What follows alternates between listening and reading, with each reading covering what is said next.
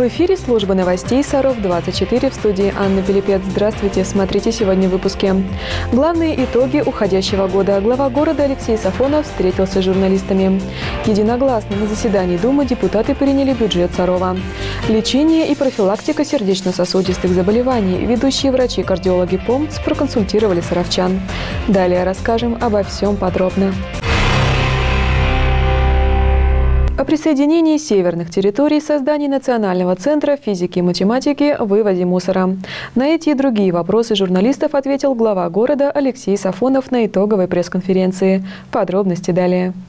Несмотря на все сложности, год выдался удачным и плодотворным. Удалось реализовать основные задуманные проекты, сообщил журналистам глава города Алексей Сафонов. Саров достойно показал себя и на федеральном уровне. Мы получили все необходим, всю необходимую поддержку и все э, и специальные поручения по вопросам развития нашей территории.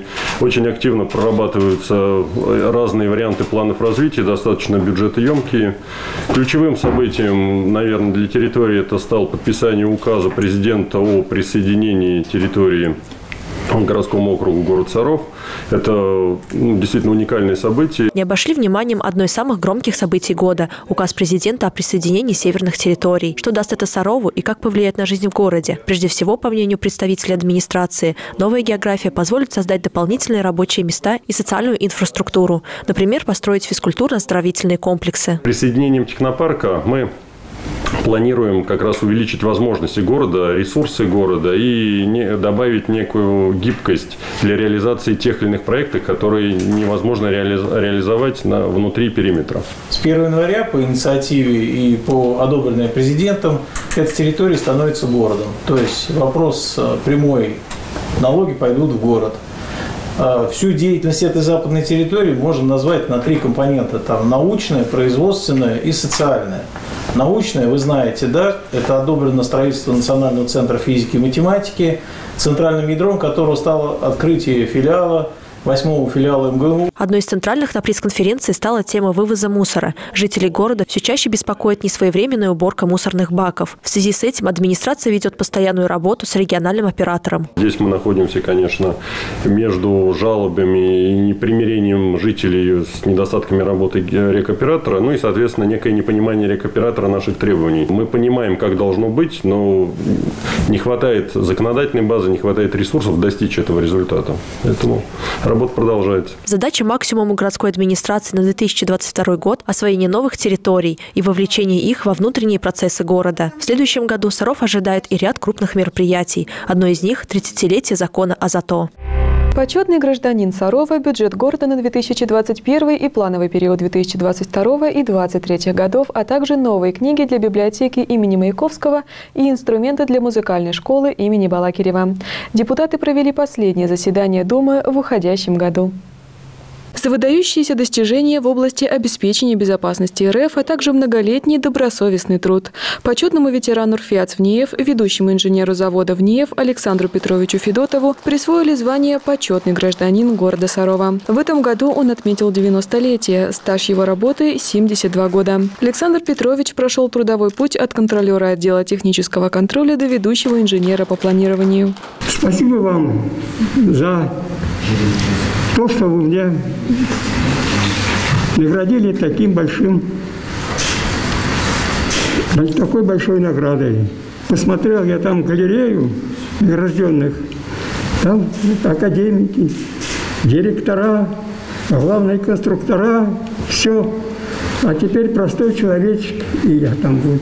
Зал аплодировал Александру Петровичу стоя. На такой торжественной ноте и началось заседание Думы, последнее в уходящем году. В первом вопросе повестки утвердили перечень имущества, которое Министерство имущественных и земельных отношений предлагает принять в муниципальную собственность. Министерство предлагает нам принять в муниципальную собственность набор э, духовых инструментов, набор барабанов, общее количество три штуки и книги, три экземпляра книг. Э, имущество предлагается закрепить на праве оперативного управления за муниципальными учреждениями, детская музыкальная школа и библиотека имени Маяковского. Также народные избранники обсудили финальные корректировки в проект решения о бюджете Сарова на 2021 год и на плановый период 2022 и 2023 годов. Главный финансовый документ города депутаты приняли единогласно. Саровчан приглашают присоединиться к всероссийскому новогоднему флешмобу. Оформляйте окна квартир, домов, офисов, школ рисунками, надписями, украшениями и выкладывайте фотографии в социальных сетях с хэштегом «Новогодние окна». Акция продлится до 30 декабря. Другая важная информация в подборке коротких новостей. Региональная служба по тарифам утвердила размер коммунальной платы для жителей Нижегородской области на следующий год. С 1 июля 2022 года цифры в платежках вырастут в среднем за тепловую энергию, водоснабжение и водоотведение не более 4,4%, за природный газ 3%, за сжиженный углеводородный газ 4,3%, за твердые коммунальные отходы не более 4,3%, за электроэнергию не более 3,6%, 0,3,8%. Выплачивать пенсии и другие социальные пособия через отделение почтовой связи в декабре будут до 24 числа с учетом установленного графика доставки. Об этом рассказали в отделении Пенсионного фонда по Нижегородской области. В январе доставлять пенсии через филиалы АО «Почта России» начнут с 3 января. Пенсии и иные социальные выплаты гражданам на счета в кредитной организации за праздничные и выходные дни января перечислят 29 декабря. Доставку ежемесячных пособий пособий женщинам, вставшим на учет в медицинской организации в ранние сроки беременности и ежемесячных пособий на детей в возрасте от 8 до 17 лет, которые должны были выплатить 3 января, произведут также 29 декабря. В связи с расторжением договора о доставке пенсии между кредитной организацией АО «Саров Бизнесбанк» и отделением ПФР по Нижегородской области гражданам, которые не предоставили новые заявления о доставке пенсии, доставочный документ на выплату не будет сформирован. Ресурсный центр добровольчества продолжает оказывать помощь горожанам на карантине. Если вам нужна помощь в доставке продуктов и лекарств, можно позвонить по телефону 99 113. Если в вашей семье живет четвероногий питомец, которого необходимо выгуливать, телефон 8 991 452 32 72. Также в ресурсном центре добровольчества будут рады пополнению в рядах волонтеров. С 1 января в России вступит в силу ряд новых законов. Об этом напомнил председатель Госдумы Вячеслав Володин. Так вырастет количество семей, которые смогут получать ежемесячную выплату на первого и второго ребенка до трех лет. Это станет возможным благодаря изменению порядка расчета среднедушевого дохода. Ранее брался показатель на второй квартал предыдущего года, а после изменения закона на год обращения за выплатой. Кроме того, вырастет и размер пособия. Он будет равен прожиточному минимуму на ребенка. Увеличится и размер материнского капитала. Исходя из новых норм, его будут рассчитывать по уровню фактической инфляции, а не прогнозной. Уточняется, что размер выплаты будут пересматривать ежегодно 1 февраля. Граждане смогут получать информацию о доступных им мерах соцподдержки при личном обращении в органы власти и местного самоуправления, а также в МФЦ. Кроме того, по новым законам страховые и социальные пенсии по инвалидности, пенсии по предложению органов службы занятости будут назначаться в беззаявительном порядке. На соцдоплаты писать заявление также не потребуется. Вводятся и новые меры для снижения закредитованности населения. Банк России получит право ограничивать выдачу необеспеченных потребительских кредитов банками, а также саймов микрофинансовыми организациями. Среди других новых норм – налоговый вычет на спорт. Государство вернет часть денег, потраченных на физкультурно-оздоровительные услуги. Добавляется, что применить вычет можно будет к доходам, полученным с 1 января 2022 года. Стать Дедом Морозом может каждый. Представители ядерного центра, городской думы и администрации приняли участие в ежегодной благотворительной акции «Елка желаний». Подробности в следующем репортаже. Серебристые шары на елке не просто украшения, а заветные детские мечты юных сыровчан, которые теперь обязательно исполнятся. Коньки, кукольные домики, смартфоны. Ребята обращались к Дедушке Морозу с самыми разными просьбами. Мы с Алексеем Александровичем в прошлом году уже участвовали в акции «Елка желаний». Э, дарили ребятам подарки. И вот это неподдельное детское счастье от того, что мечта сбылась, э, просто невероятно заряжает. И хочется это повторить. Ну и, конечно, и кукольный домик, и коньки э, дети получат. Добрыми волшебниками для детей стали директор ядерного центра Валентин Костюков, научный руководитель ВНИЕФ Вячеслав Соловьев, заместитель председателя профсоюзного комитета ядерного центра Сергей Козинцев, председатель городской думы Антон Ульянов и глава города Алексей Сафонов. Очень хорошая традиция, она позволяет вот в конце года остановиться в чехарде событий, в чехарде проблем и посмотреть на наш мир вот другими глазами, именно детскими глазами. Если уже дети не будут верить в счастье, то нам-то зачем жить? Благотворительная акция «Елка желаний» прошла в нашем городе во второй раз. Ведущие врачи-кардиологи Приволжского окружного медицинского центра ФМБА России провели для саровчан с подтвержденными сердечно-сосудистыми заболеваниями бесплатные консультации. Подробности в следующем репортаже. К мозгам, к легким кровь придет, а вот до пульса, до почек, до ног не дойдет. В конференц-зале первой поликлиники прошла школа пациента по теме фибрилляция предсердий. О факторах риска, приводящих к появлению либо обострению сердечно-сосудистых заболеваний, особенностях их диагностики, медикаментозного и немедикаментозного лечения слушателям рассказал главный специалист по кардиологии ФМБА России в ПФО Константин Мазалов. В ходе визита Вероники Игоревны Скворцовой в наш город в октябре этого года э, было высказано пожелание активизировать работу по профилактике э, заболеваемости и смертности от э, хронических сердечно-сосудистых заболеваний.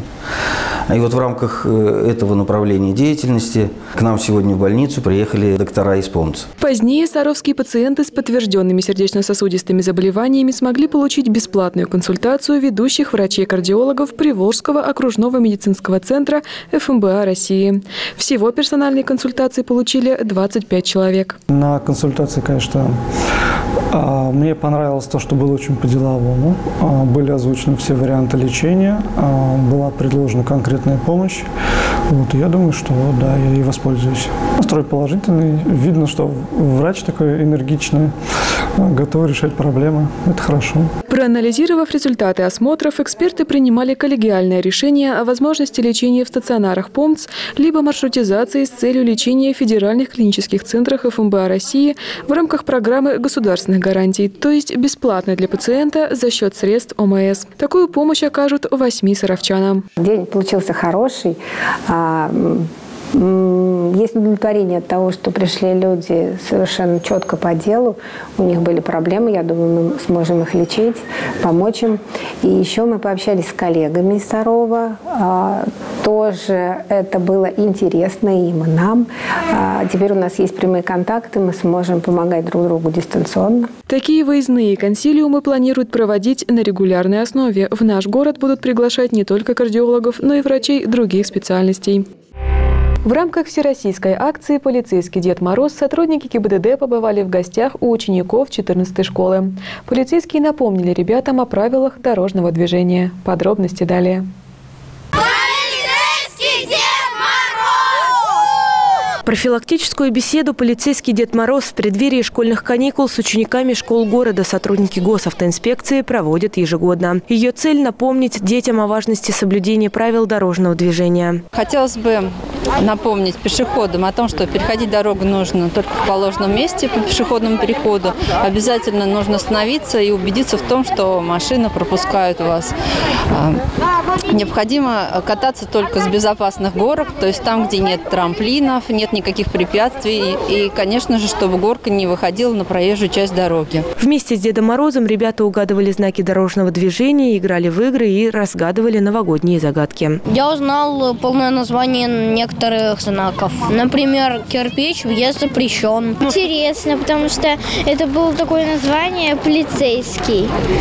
А обычное название это э, просто Дед Мороз, а полицейский классно. В завершении мероприятия полицейский Российский Дед Мороз поздравил всех участников акции с наступающим Новым годом, пожелал ребятам веселых зимних каникул и вручил подарки. Также сотрудники госавтоинспекции напоминают саровчанам, что в рамках акции «Зимние каникулы» проводятся конкурсы, в которых может принять участие любой желающий. Достаточно просто найти страницу ВКонтакте о ГИБДД по Нижегородской области 407 на связи. Там есть вся информация.